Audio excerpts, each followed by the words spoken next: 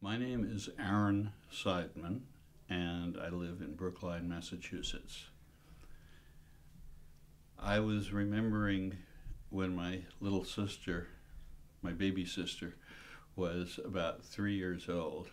Uh, I'm the oldest of four children, and uh, one autumn day we went out and uh, with with my other with my brother and my other sister, uh, and to play some touch football, and she tagged along and wanted to participate, but of course she didn't really understand what was going on. So we made her the official spectator, and she was satisfied with that at the time till she found out what it meant.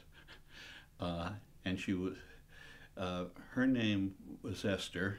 Uh, and she married. She became Esther Rome, and was a member of the Boston Women's Health Book Collective, and was one of the authors of Our Bodies Ourselves.